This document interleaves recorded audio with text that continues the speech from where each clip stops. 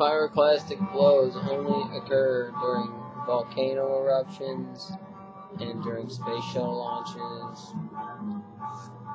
Um, it's uh, an extreme release of heat and pressure. I don't know if you guys heard me. Volcano eruptions only occur during um, satellite launch or uh, rock. Seriously though, uh, doesn't happen from airplanes and office buildings. Uh, so just think about that.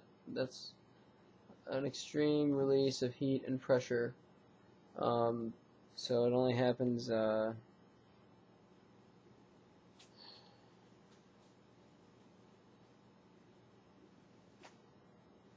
like that's like Pompeii shit. Like, you know what I'm saying? Like, uh, it doesn't even look like anything that is like you know I mean. It kind of looks like not like Hiroshima, but I mean a little bit, right? Uh, I mean not.